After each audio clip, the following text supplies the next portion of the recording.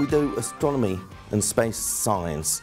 So the astronomy is obviously telescope based, looking at the sky and, and deep sky objects.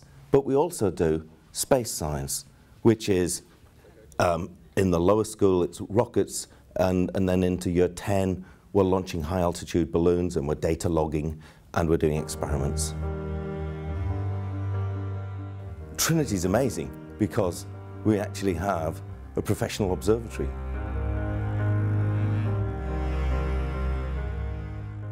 This is a remote observatory, and what that means is that it's a robotic observatory. Students can log on from home, take control of the observatory, and take pictures. And, and obviously, because it's working over the internet, distance isn't a factor, but, but it is good for the students to come in and, and, and work with the telescope here, because there are some, some finessing that you can do with the telescope here that you can't do over the, over the internet.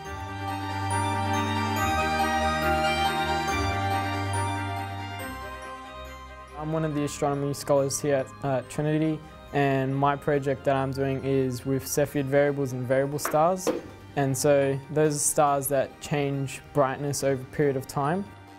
Uh, it's going pretty well so far, um, just done about five stars so far and just a lot of the theory is fun as well.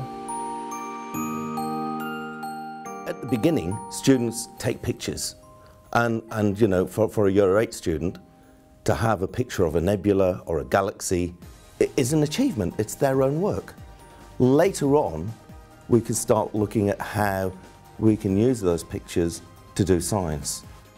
Some of the pictures that we enter into a Gemini competition are very incredibly stunning just to look at the science behind them.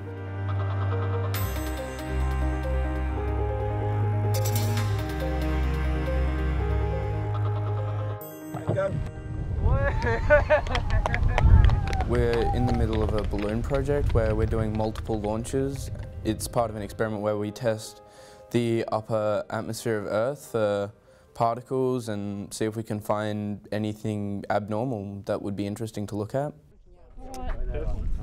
Go fly, go fly high. We, we get to launch rockets with the Perth Advanced Rocketry. Launching rockets is great, you know, it's, it's, it's great when they work, it's exciting when they don't work.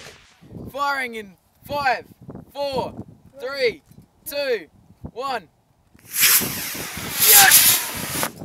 Oh! It's just amazing to have the experience to go and make your own rocket and see it fly and you also get to see a lot of their professional rockets.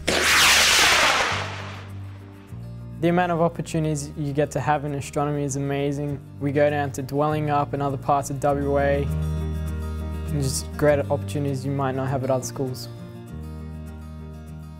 I love astronomy, so naturally I came Trinity because we've got NASA program here. Unfortunately, I don't get to go up in a rocket. However, we'll be put into groups, and so from each group we'll have people from all different nations, and you'll work together to design a particular aspect of a Mars mission. It, it lends students down a path where they start to see maths as, as a, a useful tool, um, electronics, um, engineering, all of those skills start to come together for astronomy and space science. What I like most about the Trinity atmosphere with astronomy is it's very casual and very close. There's not too many students that take it, but those who do are really passionate about the astronomy. Um, fine example, we're all here on our Saturday evenings looking at the stars and doing what we love.